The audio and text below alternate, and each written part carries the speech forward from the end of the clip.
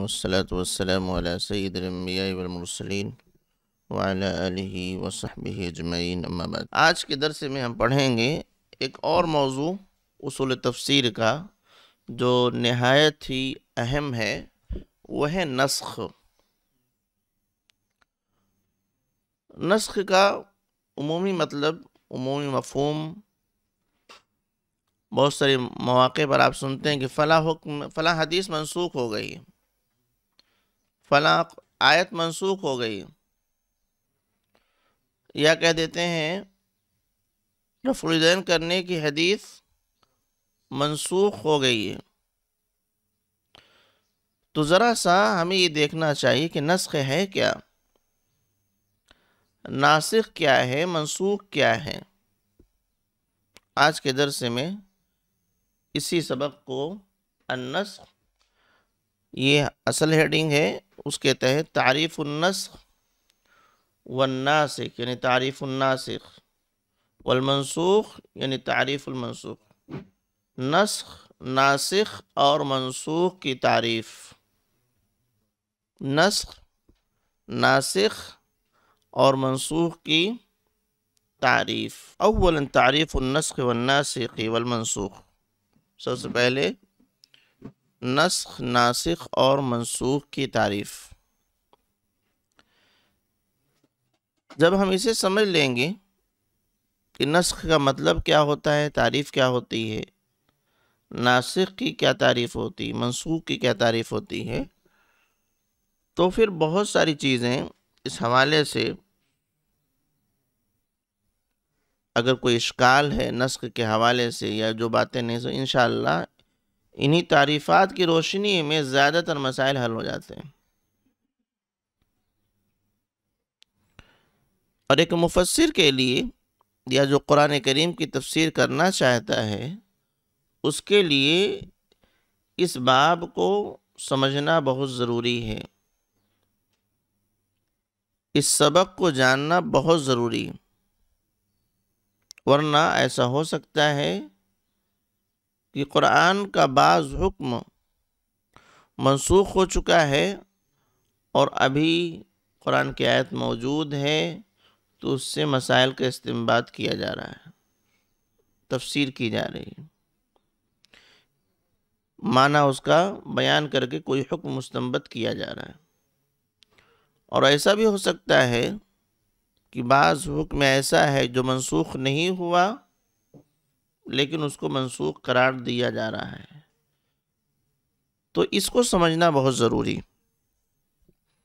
تعریف النسخ لوگ سب سے پہلے نسخ کی لغوی تعریف۔ ڈکشنری میں نسخ کس کو کہتے ہیں؟ عربی ڈکشنری میں نسخ کس کو کہتے ہیں؟ اس کا دو معنی ہے عربک ڈکشنری میں نسخ کا دو معنی ہے ایک معنی ہے کسی چیز کو نقل کرنا، اتارنا کاپی کرنا۔ جیسے بک دیکھ کر کے ہم اپنی کاپی میں لکھتے ہیں۔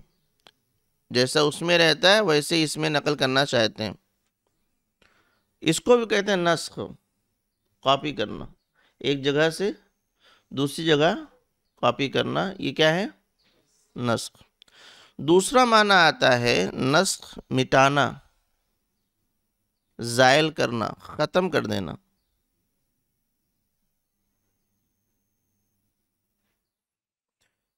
ان دونوں لغوی معنی میں قرآن کریم میں اللہ رب العالمین نے آیت کریمہ نازل فرمائی ہے یعنی دونوں معنی میں نسخ کے لفظ کو اللہ رب العالمین نے قرآن کریم میں استعمال کیا۔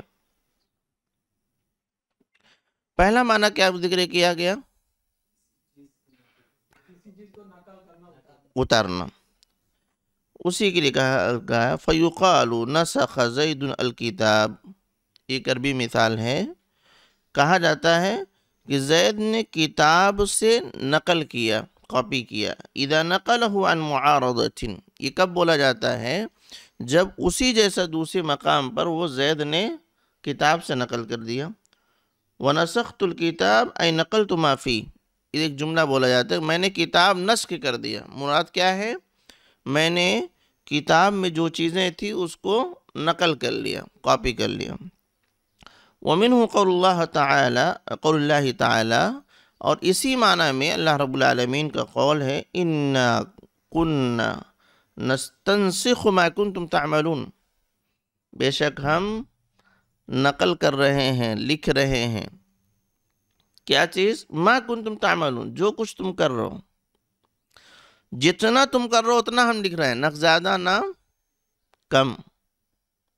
لکھنا اور ایک ہوتا لکھنا، دوسرا ہے کہ کاپی کرنا، کسی چیز کو کاپی کر کے لکھنا۔ تو اللہ رب العالمین فرمایا، انا کننا نستنسخ ما کنتم تعملون۔ ہم لکھ رہے ہیں۔ کیا؟ جو تم عمل کر رہے ہو۔ اب جو عمل کر رہے ہیں، ہو بہو ویسا ہی لکھا جا رہا ہے۔ نہ کم، نہ زیادہ۔ تو یہاں نسخ کا لفظ استعمال ہوا ہے اور کس معنی میں؟ کاپی کرنے کے معنی میں۔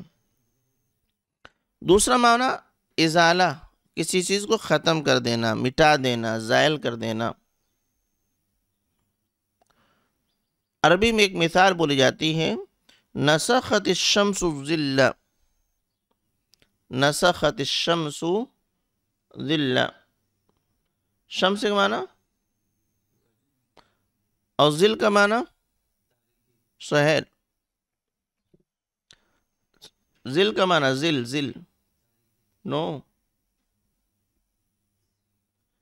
ان المتقین فی غلال وعیون کیا ترجمہ کرتے ہیں؟ متقی کہاں ہوں گے؟ تاریکی میں؟ زلال میں ہوں گے؟ سایہ۔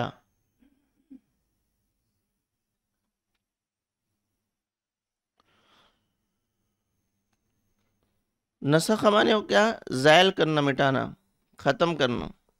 نسخت الشمس الظلہ ترجمہ کیجیے۔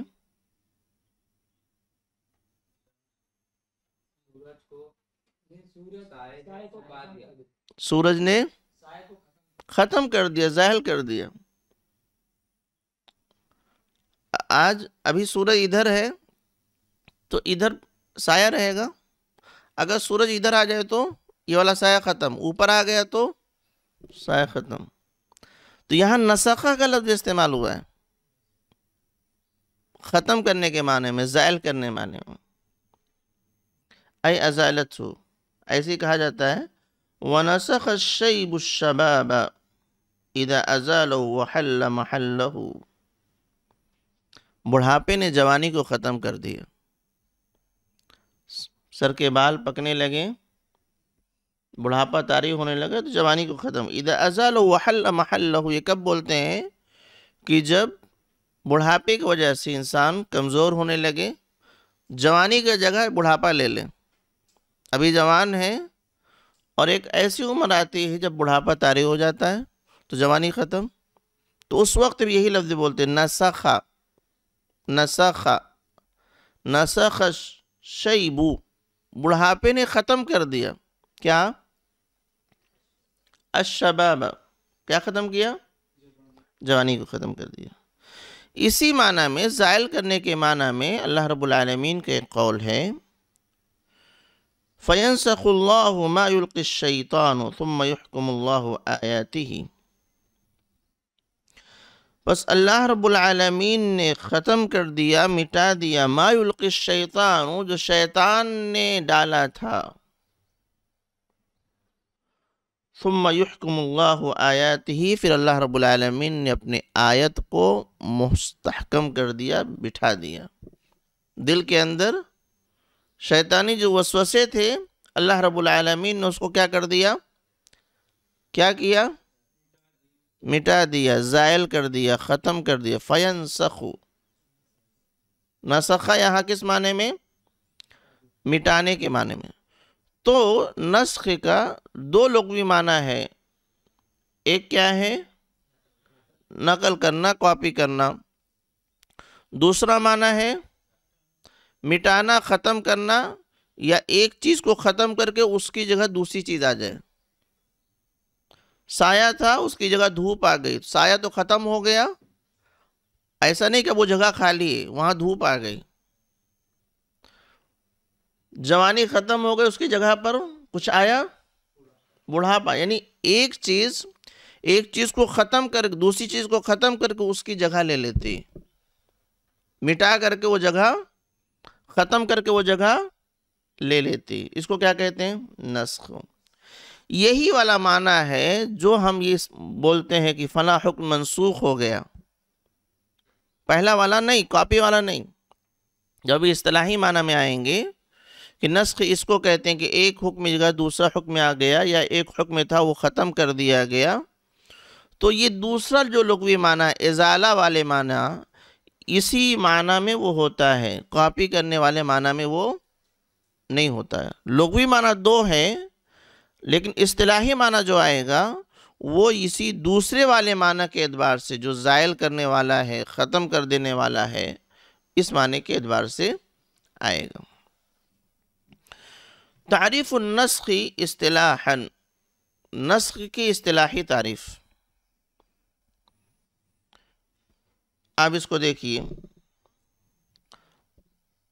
رفع الحكم الشرعي الثابت بخطاب متقدم.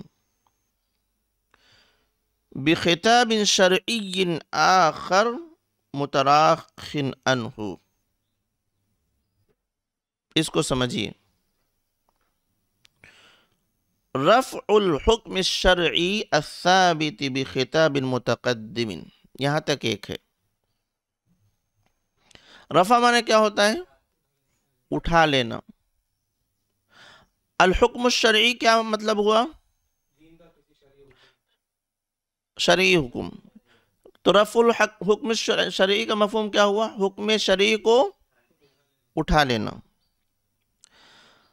الثابت بخطاب متقدم. یہ بھی حکم شرعی کے ساتھ ہے۔ ایسا حکم شرعی کو اٹھا لینا جو کہ ثابت ہے بخطاب متقدم. پہلے کسی خطاب کے ذریعہ سے، دلیل کے ذریعہ سے، آرڈر کے ذریعہ سے۔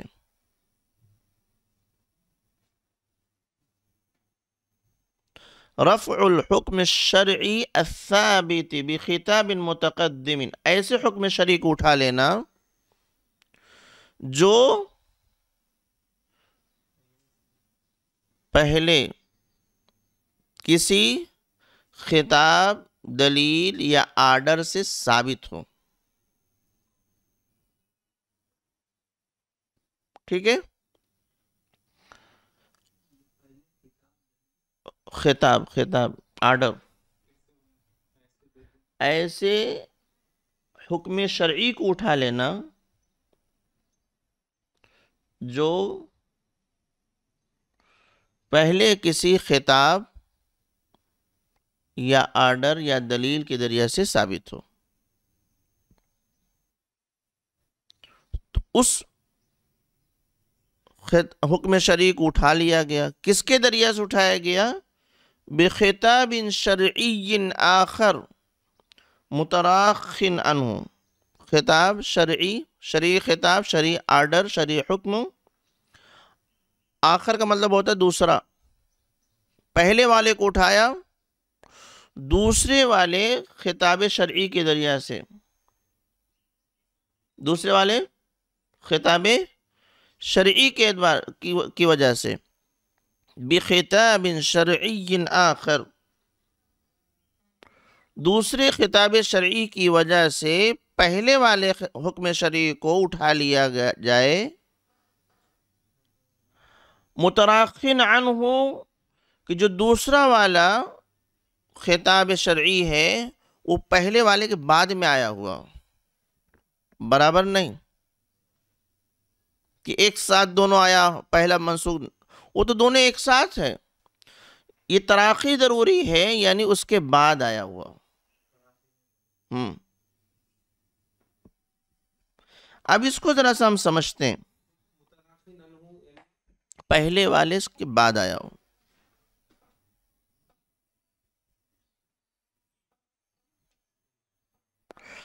حکم شرعی کہا گیا۔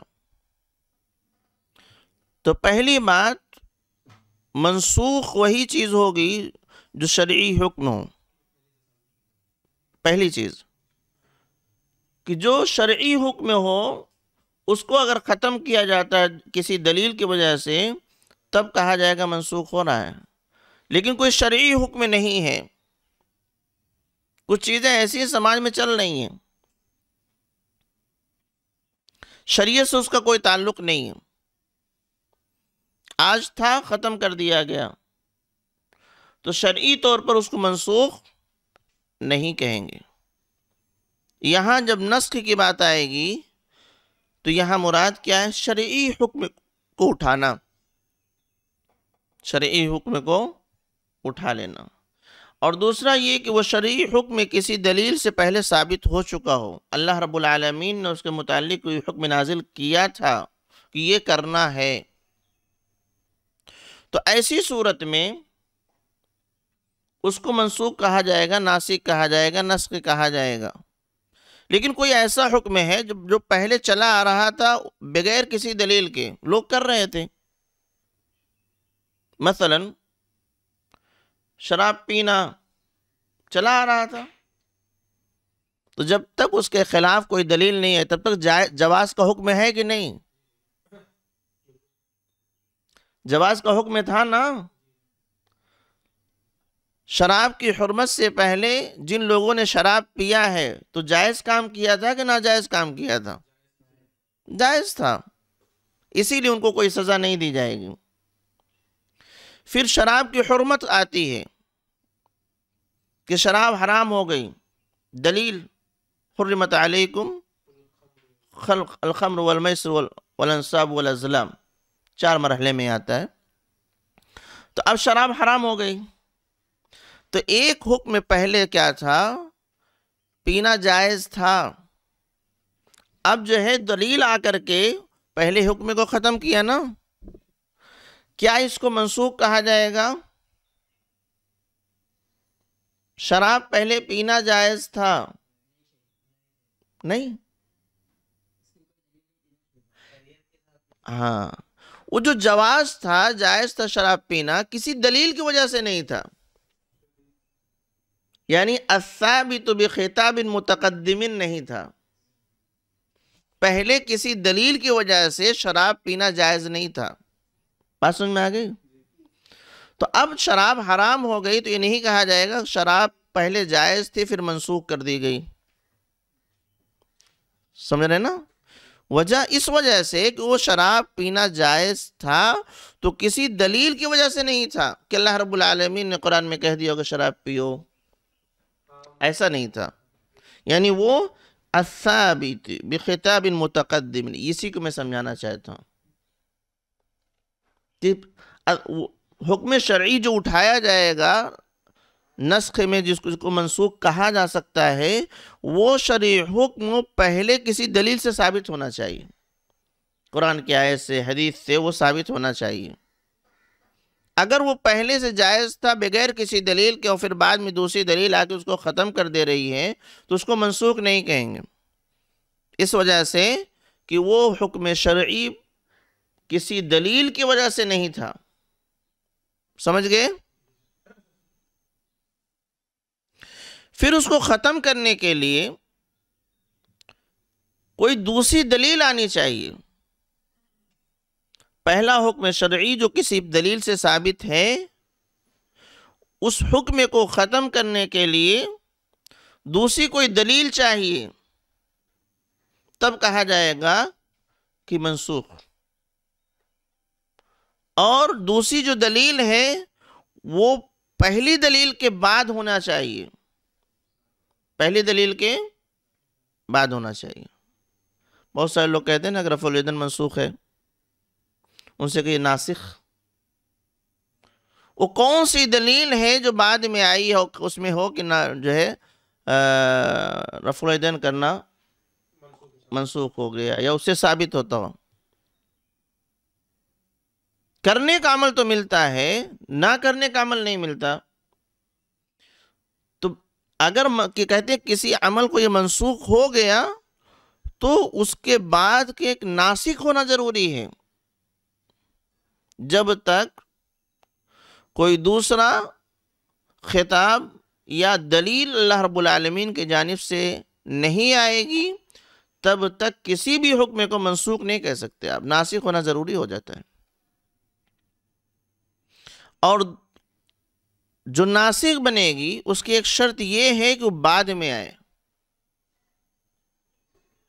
اگر کوئی عمل پہلے ثابت ہے نہ کرنے کا، پھر بعد میں اس کی دلیل آئی کرنے کا اس پہلے والی کی وجہ سے اس بعد والے عمل کو آپ نہیں کہہ سکتے کہ منسوخ ہو گیا۔ نہیں، اس میں تراخی ضروری ہے کہ جو ناسک بنے گا، وہ بعد والا ہونا چاہیے۔ اتنی بات سمجھ میں آ رہی میری؟ جملے اس تعریف کے اندر جو الفاظ آئے ہوئے ہیں، ان الفاظ کو سمجھ گئے آپ؟ کہ ہر لفظ کا کیا مفہوم ہے یہاں پر؟ ہر لفظ کا تعریف کے اندر ہر کلمے کا کیا مفہوم ہے؟ کسی حکم شرعی کو اٹھانا ہے، ختم کر کیا جائے گا، اور ایسا حکم شرعی جو کسی دلیل سے ثابت ہو۔ اور ختم کیا جائے گا تو دوسری کسی دلیل سے جو اس کے بعد آئی ہو۔ یہی ہے رفع الحکم الشرع الثابت بخطاب متقدم۔ کسی ایسے حکم شرعی کو اٹھانا جو پہلے کسی دلیل سے ثابت ہو۔ بخطاب شرعی آخر دوسری کسی شرعی دلیل کے ذریعہ سے متراخن عنہ جو پہلے والے کے بعد آئی ہو۔ مثال قال اللہ تعالی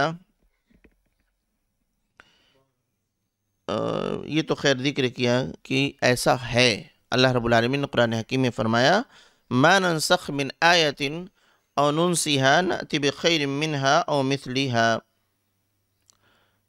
کہ ہم بعض آیات کو منسوخ کر دیتے ہیں، اور ننسیها یا اس کو بھلا دیتے ہیں۔ نأتی بخیر منها او مثلیها اور اس کے بدلے میں اس سے بہتر یا اس جیسی آیت یا حکم لے کر کے آتے ہیں۔ اس کی پہلے ایک مثال لے لیتے ہیں، اس کے بعد آگے بڑھیں گے۔ نسخی کی تعریف سمجھ میں آ گئی کہ ایک حکم شرعی جو دلیل شرعی سے ثابت تھا، اس کو دوسرے شرعی دلیل سے ختم کیا گیا جو بعد میں آیا۔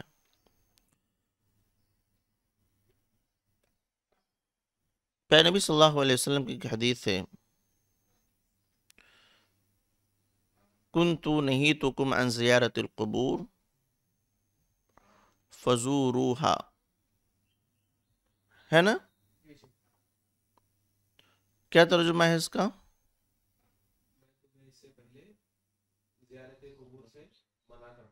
ہاں فضوروہا اب زیارت کرو۔ دو حکم آ گیا نا؟ پہلے کیا ہے کہ میں پہلے منع کرتا تھا، اس کا مطلب قبر کی زیارت کرنے کی ممانیت دلیل شرعی سے تھی، اللہ کے نبی نے منع کیا تھا۔ ایک ہوتا ہے کہ کسی نے منع نہیں کیا، لوگ زیارت نہیں کر رہے ہیں۔ لیکن یہاں کیا معاملہ ہے؟ اللہ کے نبی کا میں منع کرتا تھا، نبی کا منع کرنا یہ دلیل ہے۔ نبی کا منع کرنا یہ آرڈر ہے۔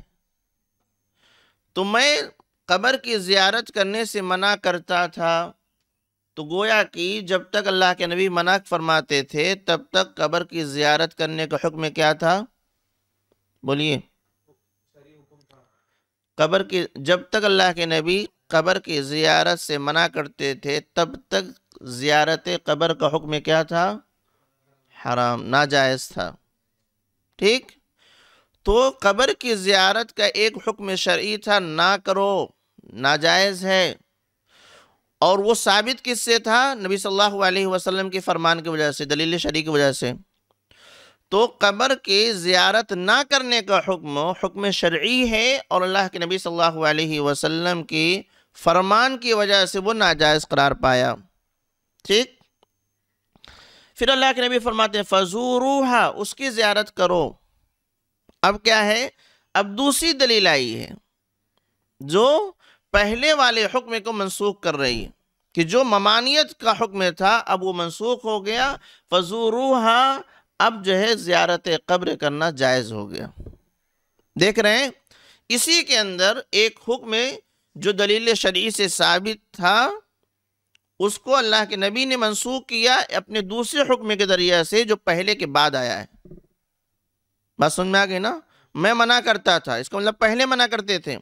اور آج یہ کہا جا رہا فضور زیارت کیجیے۔ تو یہ بعد والا حکم ہو گیا نا؟ یہ ہے، تو اس کے اعتبار سے فضوروہا یہ ناسخ بن گیا۔ کیا بن گیا؟ ناسخ۔ یہ دلیل؟ فضوروہا ناسخ۔ اور پہلے جو حکم دلیل شریع سے ثابت تھا، قبر کی زیارت نہ کرنا، وہ منسوخ ہو گیا۔ اور اس عمل کو کیا بولیں گے؟ نسخ۔ مفہوم سمجھ میں آ گیا نا؟ جس حکم شرعی کو منسوخ ختم کیا گیا، اس کو منسوخ بولیں گے۔ جس حکم شرعی کی وجہ سے نسخ ختم کیا گیا، اس کو کیا بولیں گے؟ ناسخ بولیں گے۔ اور اس پورے عمل کو کیا بولیں گے؟ نسخ۔ کیا بولیں گے؟ نسخ۔ اب جلدی جلدی سمجھ میں آ جائے گا انشاءاللہ۔ تعریف الناسخ۔ نسخ کی تعریف آپ سمجھ گئے، مثال میں نے دے دی۔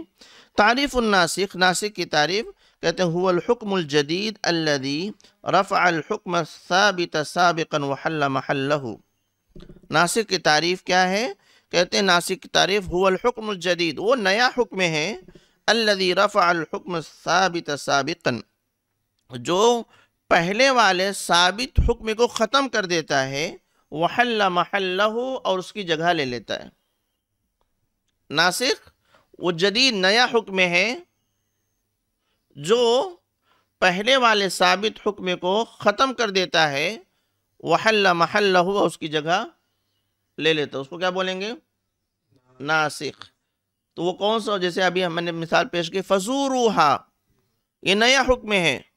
پرانا حکم کیا تھا؟ نت کرو۔ قبر کی زیارت۔ تو اب یہ نیا حکم ہو یہ ناسخ ہوا۔ جو پہلے والے حکم کو ختم کر دیا اور اس کی جگہ لے لے کے اب زیارت کرنا جائز ہو گیا۔ تعریف المنسوخ، منسوخ کس کو کہتے ہیں؟ کہتے ہیں هو الحکم المرتفع۔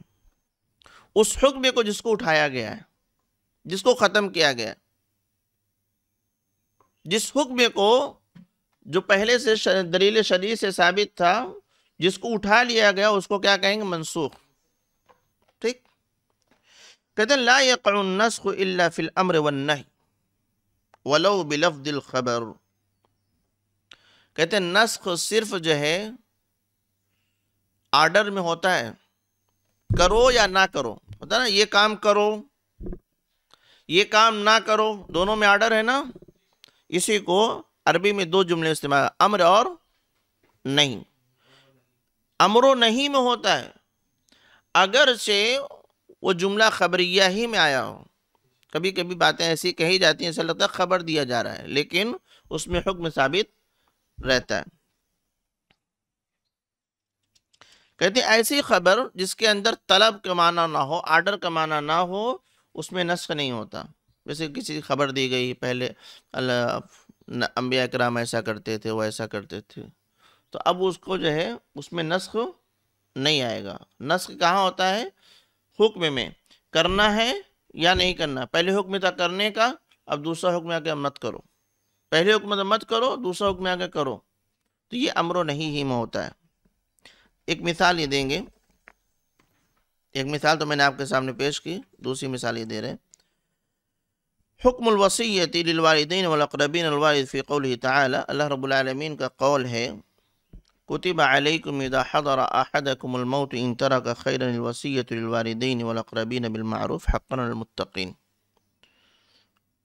ترجمہ ہے، اللہ رب العالمین نے تم پر فرض کیا ہے، اذا حضر احدکم الموت، جب تم میں سے کسی کے موت کا وقت قریب آ جائے، ان طرح خیرہ اگر وہ مال چھوڑ رہا ہے، تو اللہ فرض کر رہا الوسیت للوالدین والاقربین بالمعروف، تو والدین اور قرابت داروں کے لیے معروف طریقے سے وسیعت کرو، یہ فرض کر رہا ہے۔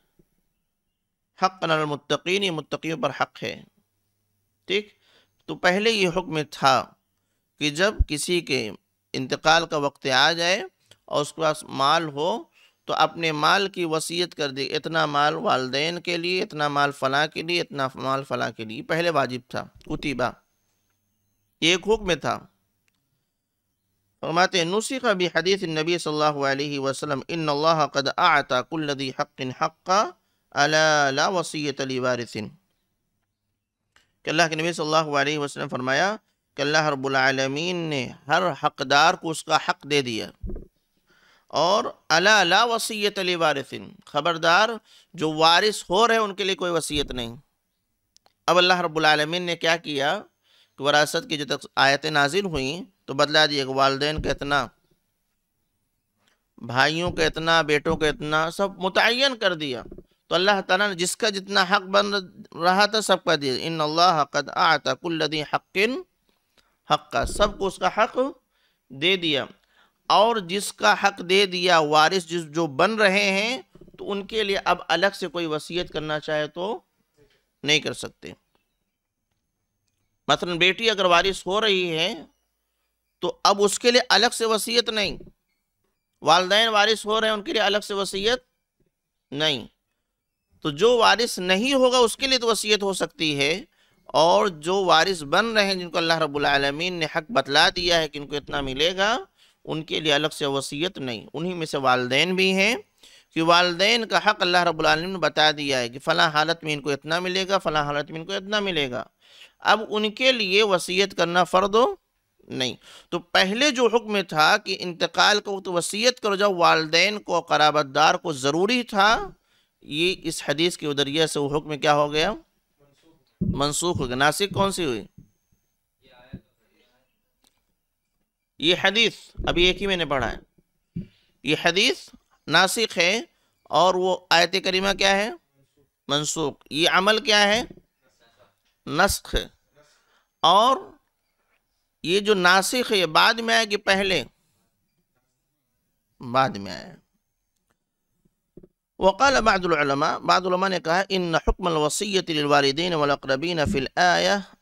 السابقة نسخ بآية المواريث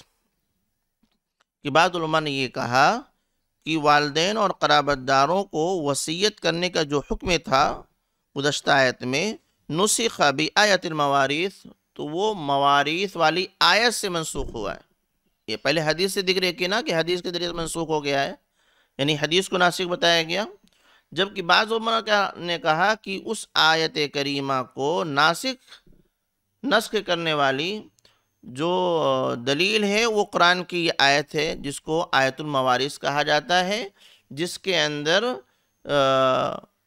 وارثین کا تذکرہ کیا گیا ہے کہ کس وارث کو کتنا ملے گا۔ وہ مشہور آیت کریمہ ہے یوسیکم اللہ فی اولادکم للذکر مثل حد الانثین، فإن کن نساء فوق اثنتين فلهن ثلثا ما ترك. وإن كانت واحدة فلها النصف ولأبويه لكل واحد منهما السدس مما ترك إن كان له ولد. فإن لم يكن له ولد وورثه أبواه فلأمه الثلث. فإن كان له إخوة فلأمه السدس من بعد وصية يوصي بها أو دين. آباؤكم وأبناؤكم. لا تدرون أيهم أقرب لكم نفعا. فریغت من اللہ، ان اللہ کان علیما حکیما۔ اس آیت کریمہ میں والدین کا حق بیان کیا گیا ہے، اولاد کا حق بیان کیا گیا ہے، بھائی بہنوں کا حق بیان کیا گیا ہے۔ تو یہ سب والدین ہیں قرابت دار ہیں۔ اب پہلی آیت کریمہ میں کیا تھا کہ انتقال کے وقت والدین اور قرابت دار کے لیے وصیت کیجیے، فرض تھا۔ لیکن جب یہ آیت کریمہ آ گئی تو اب اس کے اندر کیا ہے؟ ذکر کر دیا کہ فلاں کا اتنا، فلاں کا اتنا۔ اب آپ کو وصیت کرنے کی ضرورت نہیں۔ کہتے فناسق هو الحدیث او آیت الموارث۔ اس پہلی آیت کریمہ کو نسخ کرنے والی، اس کی ناسک جو بن رہی ہے، وہ اللہ کے نبی کی حدیث بھی ہے اور یا پھر یہ آیت کریمہ۔ والمنسوخ، منسوخ کیا؟ ہوا حکم الوصیت للوالدین والاقربین الوارد فی الآیت الاولا اور منسوخ وہ حکم ہے جو انتقال کے وقت والدین اور قرابت داروں کی کے لیے وصیت کرنے کا حکم تھا۔ ٹھیک ہے؟ جزاکم اللہ خیر، بارک اللہ فی